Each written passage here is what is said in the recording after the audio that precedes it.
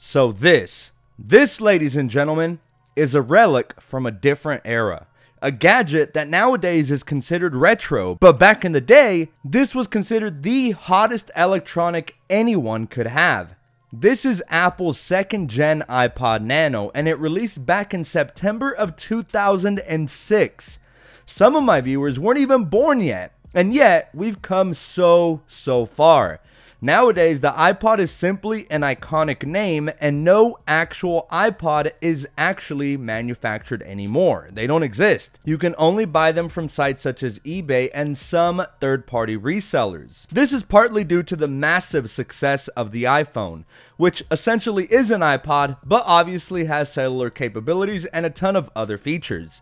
I never actually owned one before, and as a matter of fact, this silver iPod Nano 2nd gen actually belongs to my girlfriend Gabby, and she was kind enough to let me borrow it for this retro review. So guys, join me for this one-of-a-kind blast from the past as we remember and look at just how far we've come in terms of technology. So without further ado, let's get started.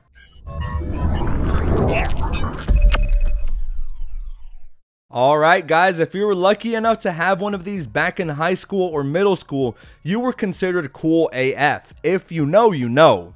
No, seriously, I was only 11 at the time, but sadly my parents refused to buy me one because they said the knockoff $40 MP3 players could do the exact same thing. And I mean, they weren't wrong, but boy how I wished I had one.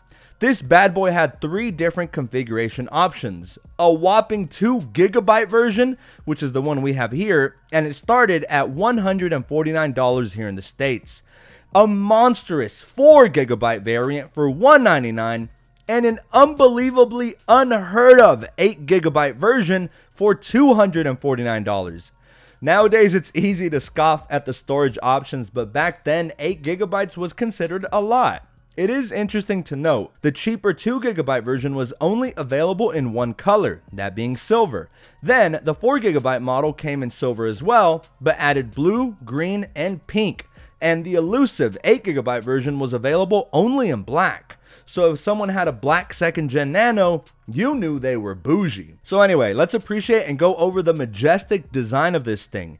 It's tiny and palm sized, making it extremely easy to take with you anywhere, but was also very easily forgotten in people's pockets. And I have heard many stories of people who accidentally washed them in their jean pockets. And remember, this was way before any kind of water resistant devices with IP66, IP67, and stuff like that. So that meant it was 100% a goner if you accidentally washed it. A quick moment of silence to all of the fallen nanos. Alright, that's enough. So of course, this being the second gen meant it came with many refinements over the original Nano. The updated Nano featured a scratch resistant anodized aluminum casing just like the iPod mini did. And, as is pretty clear to see, this was the era of the now famous click wheel. The click wheel was a touch sensitive circular interface with a mechanical click mechanism that allowed users to navigate through menus, scroll through music libraries, and adjust settings. It combined a touch sensitive surface with a physical button functionality, making it easy to use and provided tactile feedback. The click wheel became synonymous with the iPod and was widely praised for its intuitive and user friendly design. However, as technology advanced, Apple eventually phased out the click wheel in favor of touchscreen interfaces, which were introduced with later iterations of the iPod and eventually became standard on devices like the iPhone and the iPod Touch. The iPod Nano 2nd Gen featured a slim rectangular design with rounded edges. It featured a 1.5 inch color LCD screen, which Apple claimed to be 40% brighter than its predecessor. It was also more vibrant, according to Steve Jobs.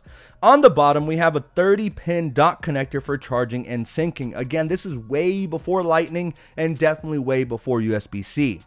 And it also featured a standard 3.5mm headphone jack. This was, of course, the only way to listen to music, and this was way before the time of AirPods. So, of course, as one might expect, having those headphones with you at all times was paramount if you wanted to utilize this device to its fullest. And what's worse, the iPod Nano didn't even have an internal speaker, which meant you couldn't blast your tunes straight off the device.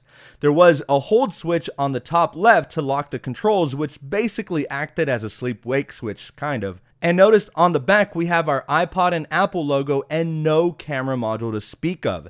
This didn't happen until I want to say the 6th generation iPod Nano when they started to incorporate a camera on the back. Overall, it offered a compact and portable music playback experience with its small screen and sleek design and weighed just under 40 grams, making it one of the slimmest and most portable MP3 players of that time. Lastly, back then the Nano boasted one of the most impressive battery lives of any MP3 player.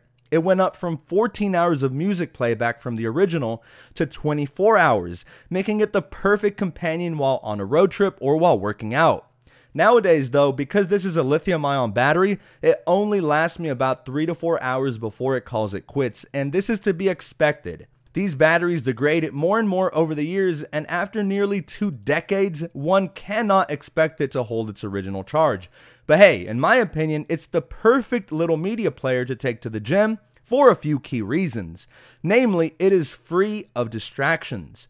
I know many of you watching are guilty, including myself, of getting lost in the sauce scrolling through social medias or looking at memes in between sets. It not only wastes your time, but others may be waiting to grab that bench or that squat rack next. At least with this Nano, there are no cellular or Wi Fi capabilities, so you simply choose your song, pop in your wired headphones, and you're ready to rock and roll. While you could download images onto the iPod Nano, you were not able to search for any images because, of course, this is not an internet browsing device. It is really crazy to see just how much tech has advanced over the years.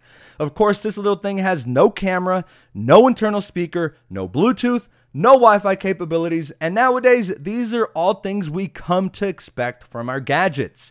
This blast from the past does hit me right in the feel, seeing as how anyone who was born in the 90s and early 2000s was there to witness the advancement of smartphones and technology in general. Back then, having an MP3 player or iPod was a massive luxury, but now anyone who has a smartphone essentially has an MP3 player and a camera and a phone and an internet browser.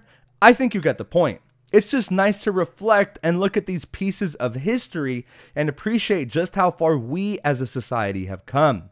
Guys, if you ever own an iPod, let me know how your experience was like below. Before I got an iPhone, my first ever iPod was the iPod Touch 2nd gen, and it was around the time I was in high school. So I want to say for me, the year was 2012 or something. As always, guys, I appreciate every single one of you. I'd love to hear all y'all's nostalgic tales of the MP3 era before the iPhone and modern smartphones took over. Again, I want to thank my lovely girlfriend Gabby for letting me borrow her Nano. And guys, keep your eyes peeled as I have a ton of MacBook Air 15 inch content coming up shortly.